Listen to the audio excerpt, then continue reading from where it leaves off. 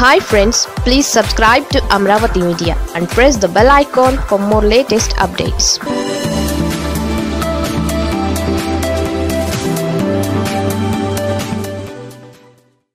వైసీపీతో కాంగ్రెస్ పొత్తు. ప్రశాంత్ కిషోర్ ఫార్ములాకు జగన్ సిద్ధమేనా? ఏపీలో రెండు వేల ఇరవై నాలుగు ఎన్నికల్లో ఏ పార్టీ ఏ పార్టీతో కలవనుంది? వైసీపీ పొత్తు పెట్టుకునే ఛాన్స్ ఉందా? ఏపీ రాజకీయాల్లో కొత్త సమీకరణాలు తెర మీదకు వస్తున్నాయి.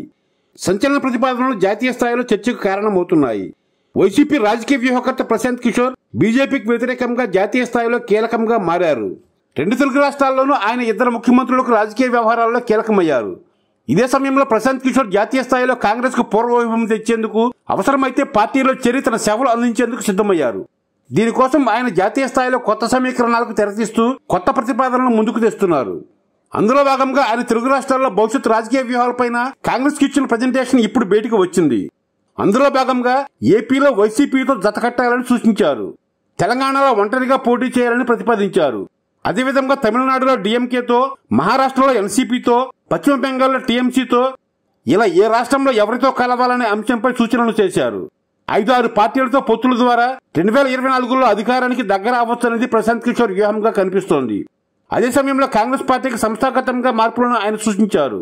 అయితే ఇప్పుడు ఏపీలో వైసీపీతో పొత్తు పెట్టుకోవాలంటూ ప్రశాంత్ కిషోర్ చేసిన సూచన తెలుగు రాజకీయాల్లో సంచలనంగా మారుతోంది. రెండు వేల పంతొమ్మిది ఎన్నికల్లో జగన్ సీఎం అయ్యేందుకు రాజకీయ వ్యూహాలు అందిస్తూ సహకరించిన ప్రశాంత్ కిషోర్కు ఏపీ రాజకీయాలపైన పూర్తి అవగాహన ఉంది. ఈ సమయంలో ఆయన చేసిన ప్రతిపాదన వెనుక వ్యూహాలు ఏమిటనేది కీలకంగా మారుతోంది. అసలు ప్రశాంత్ కిషోర్ ప్రతిపాదనపైన జగన్ సుముఖత వ్యక్తం చేస్తారా అనేది సందేహమే.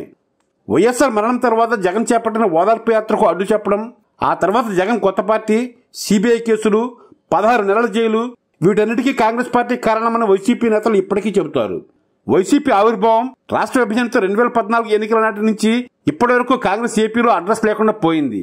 ఎక్కడ ఒక్క సీటు గెలిచే పరిస్థితి లేదు. రెండు వేల పంతొమ్మిది ఎన్నికల సమయంలో మాత్రం ప్రధాని మోడీకి వ్యతిరేకంగా టీడీపీ అధినేత చంద్రబాబు తన పార్టీ ఆవిర్భావ మూలాలను సైతం పక్కన పెట్టి కాంగ్రెస్ పార్టీతో జతకలిశారు రెండు వేల పంతొమ్మిది ఎన్నికల్లో టీడీపీ ఇరవై మూడు సీట్లకు పరిమితం కావడానికి ఇది కూడా ఒక కారణంగా భావిస్తారు. రాష్ట్ర విభజనతో కాంగ్రెస్ పార్టీని ఇప్పటికీ ఏపీ ప్రజలు ప్రధాన దోషిగానే చూస్తున్నారు.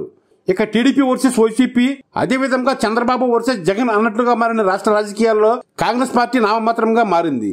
పొత్తుల విషయంలో తొలి నుంచి జగన్ క్లారిటీతో ఉన్నారు. ఏపీలో టీడీపీ జనసేన లేదా బీజేపీతో మూడు పార్టీలు కలిసి వచ్చినా తాము మాత్రం సింగిల్గా పోటీ చేస్తామని పదే పదే వైసీపీ ముఖ్య నేతలు చెబుతున్నారు. ఇక రెండు వేల పంతొమ్మిది ఎన్నికలకు ముందు ఏపీకి ప్రత్యేక హోదా అంశంలో మాత్రం కేంద్రంలో ఎవరు అధికారంలో ఉన్నా తమకు సంబంధం లేదని ఏపీకి హోదా ఎవరు ఇస్తే వారికి మద్దతు ఉంటుందని జగన్ ఆనాడే స్పష్టం చేశారు. కానీ ఆ ఎన్నికల్లో బీజేపీ అనూహ్య మెజారిటీతో తిరిగి అధికారంలోకి వచ్చింది. అప్పటి నుంచి కేంద్రంలోని ముఖ్యులతో జగన్ హోదా అంశంపై నిలదీసే పరిస్థితి లేకపోయినా ఏపీలో పరిస్థితులతో కలిసి ముందుకు సాగుతున్నారు. ఇప్పుడు సోనియా సారథ్యంలోని కాంగ్రెస్ పార్టీ ఏపీలో వైసీపీ పొత్తు కోసం ముందుకు వచ్చినా జగన్ అందుకు అంగీకరించే అవకాశం ఉండదనేది పార్టీ ముఖ్య నేతల అంచనా వైఎస్ఆర్ జగన్ అభిమానులు ఏపీ ప్రజల్లోనే ఇంకా కాంగ్రెస్ పార్టీ పైన ఆగ్రహం తగ్గలేదని విశ్లేషిస్తున్నారు. అయితే వైసీపీతో పొత్తుకు సోనియా గాంధీ అంగీకరిస్తే జగన్ ఒప్పించే బాధ్యతను పీకేకు అప్పగించే అవకాశం కూడా లేకపోలేదు. ఇప్పటికే ఏపీతో పాటు చాలా రాష్ట్రాల్లో కాంగ్రెస్ పార్టీ ఉనికిలో లేదు.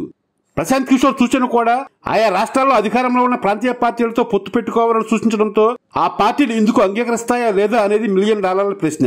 మరోవైపు ఇటీవల ఇద్దరు టీడీపీ ఎంపీలు సోనియా గాంధీని కలిసి పొత్తు విషయం మాట్లాడారన్న ప్రచారం జోరుగా సాగుతోంది. ఈ నేపథ్యంలో ఏపీలో రాజకీయ పరిణామాలు ఎలా ఉంటాయో వేచి చూడాలి.